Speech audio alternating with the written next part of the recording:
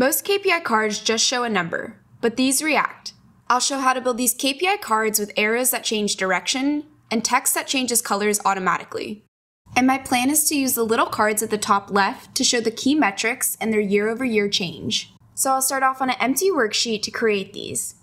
And I want to show that you can do this with calculated fields and you don't have to rely on just the metrics within your dataset. I'll start with gross margin, which is the sum of the gross profit divided by the sum of the revenue. And I wrap these in the sum function to make sure that Tableau adds everything up first, then does the division. The second calculated field I'll create is for the operating margin. And this is the sum of the operating income divided by the sum of the revenue. And the last one will be for the return on assets. This one is the sum of the net income divided by the sum of the assets. Now that I have my three metrics, I'm going to double click on measure names to create a table. But I don't need all these extra ones, so I'm going to remove all the ones that I don't need. That way we're left with just our three calculated fields. My dataset also has multiple years, so I'm going to drag date into the filters and choose a relative date. That way I can select this year only. I'll start by formatting the headers so they're a little bit bigger and a little bit lighter. Then for the alignment, I'll choose center. And to get rid of those lines, I'm going to go to borders so I can remove the row divider. To format the values, I'll use text within the marks. And I'm going to make this a little bit bolder and a lot bigger since these values are the ones that matter the most. Then I'll use text to go to the alignment so I can center them. And since these are all going to be percentages, instead of formatting the measure values one at a time, I'm going to right click on measure values and hit format. That way, when I change the number formatting to a percentage with one decimal, it adjusts all the measure values in the table to that format. To add the deltas or year to year change, I'll start by duplicating our gross margin field. Then I'll edit this field, and before the gross profit field, I'm going to type if the year of the date equals the year of today. Then do the gross profit and put an end at the end. So this is going to give me the gross profit for this year. And I'll repeat that same structure for the revenue, which is going to give us the gross margin for this year. Then I'll wrap this whole function in parentheses and copy what we have. I'll type a minus sign and paste. And after the year of today, I'm going to add a minus 1. That way I'm getting last year's gross margin. So this is going to give us the delta or year over year change in gross margin which is just this year's minus last year's. I'm going to go ahead and quickly fast forward through me doing the same thing for the operating margin and the return on assets. To save time on formatting, I'm going to duplicate the worksheet.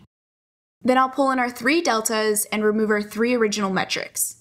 And I also need to remove our date filter since we're looking at the year over year changes. I'm going to start by removing the header, and I want to add little arrows that show whether it's a positive or negative change. So I'll right click on measure values to format them. And this time I'm going to do custom formatting. And I'm going to copy and paste the Unicode upward triangle character before everything. Then I'll type a semicolon to separate the positive and negative values. And I'll copy and paste the downward triangle and type 0.0%. Then I'll type another colon and 0.0%. Tableau uses this three-part custom number format syntax. So it's the positive format, semicolon, the negative format, semicolon, and the zero format.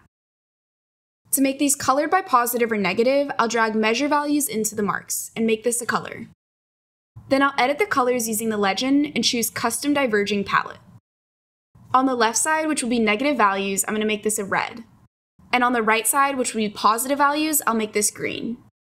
Then to ensure I'm only using two colors, I'm going to check off stepped color and make this only two steps. And I also want to make sure zero is always the center. So I'm going to go to advanced, select center, and keep it at zero. To format the text itself, I'll use text within the marks. And I'll make this a little bit smaller and less bold. Then I'll rename this worksheet to be for the metrics change. And on the dashboard, I'll start by adding both our worksheets. I'll hide the title of both worksheets. Then I'll set both of them to the entire view. And since I'm going to move these into the little boxes I created, I don't want the white background stretching all the way across. So I'll format the worksheet to remove the background. And I'll do this for the changes as well. Then I'll move the changes into the boxes under their current year metrics. This is a super small thing, but I don't like how the headers stretch all the way across to the edges of the boxes. So a little hack to fix that without changing the size is to edit the alias and add a few extra spaces between the words. That's going to force the text into two lines so it doesn't feel as crammed. It's a small aesthetic tweak, but it makes everything easier to read. And now we have a super simple way to display the key metrics and their year over year changes.